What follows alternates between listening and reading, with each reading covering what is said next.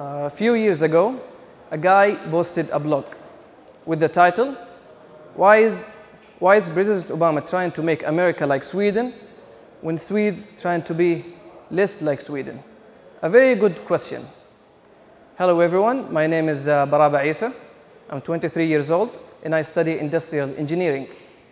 During my years in college, I studied seven subjects, only in math.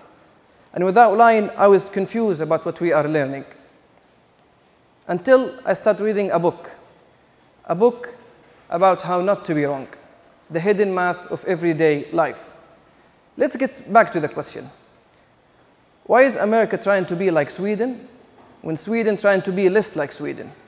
To answer that question, we will need a scientific mathematical chart. As we see here in this graph, we have in the x-axis the uh, Swedishness, and the y-axis is the prosperity. And this kind of uh, mentality can only be explained by a line, which is something we call in math uh, a linear problem. So his argument was, why is America trying to move down this line to become more Swedish and get less prosperity, while Sweden trying to move up, to, which become less Swedish and get high amount of, uh, high amount of prosperity. This was his point of view. But let me show you the same problem from another point of view, like what uh, economic and President Obama had in his mind. President Obama can uh, show it, show this, uh, saw this problem as, as a curve. It's not a line. It's something we call a nonlinear problem. Much more complicated, but it will ex uh, explain by a curve. As we see here, for Sweden to get the highest amount of prosperity, it should move, it should move up to that curve and uh, to become more, uh, less Swedish, and for America to become more Swedish, also to reach the highest amount of prosperity. These are two different points of view. And it's not my job to define who's right and who's wrong. It is only a, uh, a matter of who did the math correctly. Is it a linear problem, like what the blogger uh, saw it? Or is it a nonlinear problem, like what, what the President Obama claimed? I believe that I cannot make you understand math without involve you with me in this process. So let's just have an example. Imagine that I just bought an island, and I will call it uh, UJ Island, and I'll be the king, and you guys will help me uh, manage this island as my counselors.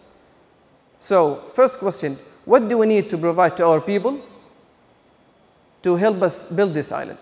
What, is, what are the basic needs that we want to, to do to build this island? Yes? Of course, we need food. Something else? Jobs, everything. We need electricity, uh, police, uh, schools, every, a lot of things. We, we can translate all of that into one thing. We need money.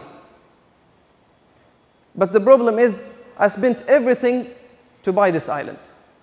Basically, I have no money. So what I thought is, uh, I thought about applying taxes to the people who lives in that island. And we need as much money as we can get to build this island, of course. So here's the plan. For the first few years, we will take 100% of their income. Is that a good plan? Of course not. Because if we take 100% of their income, they will quit their job and basically they will stop working because we take everything that they make. So human satisfaction. Human satisfaction is really important. So we'll focus on human satisfaction, how to satisfy the people who lives in that island. So we'll put taxes depending on their happiness. But the problem is what, what, what will make people happy is living without taxes. This is a very stressful problem. But math could make it easier.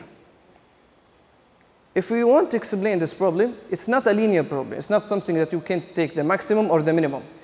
The solution, the optimal solution, is somewhere in between. So I made this graph, and I hope it explains this situation well. As we see here, we have the amount of, ta of taxes in the x-axis and the island growth in the y-axis. At the beginning, if we put taxes at 0%, we will have zero uh, island growth since we will not take any money. And if we put the taxes at 100%, the maximum, also will ensure zero growth for that island since they will quit uh, their jobs and we take everything that they make. So the optimal solution, I found that it could be somewhere in the middle, which is a nonlinear problem, which is 25% uh, will ensure the growth of the island, also will make people somehow happy since they will be knowing that the island is growing by their help.